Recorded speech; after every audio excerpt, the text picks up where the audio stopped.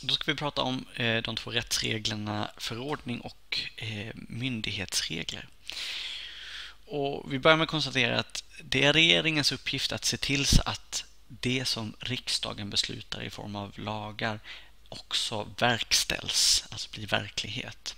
Och till sin hjälp så har man myndigheterna. Eh, CSN, eh, ett, en sån myndighet som ni som elever säkert har stött på i form av eh, när ni får ert eh, studiestöd. Ehm, det är en form av myndighet. Och det kan vara så här att lagen är svår att tyda. Ofta är det så att lagen kan vara svår att tyda. Inte kanske för att den är svårt skriven eller så, för det är de ofta inte längre, utan för att den inte är så detaljerad. Alltså den är ganska allmänt skriven kanske. Ehm, och det är för att den ska vara bred så skriver man dem ofta inte så detaljerat så. Den ska fånga upp en, en, en, en bredd istället. Och eh, då är det regeringens jobb sen, också en del i regeringens makt faktiskt, att tolka lagen.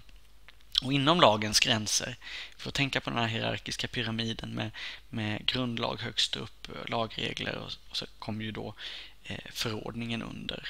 Eh, att inom de här grundlagen och lagens gränser så, så får alltså regeringen då tolka genom en så kallad förordning eh, hur, hur lagen ska användas.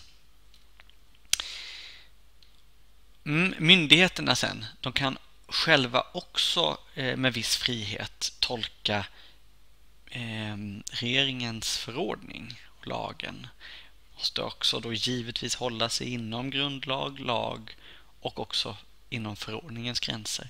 Därinom får alltså myndigheterna sen ehm, tolka via så kallade myndighetsregler.